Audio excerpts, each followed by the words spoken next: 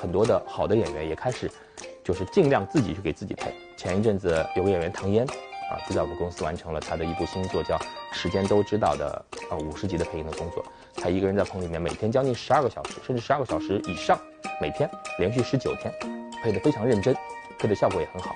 那在我看来，这这真的是一个演员应该做的。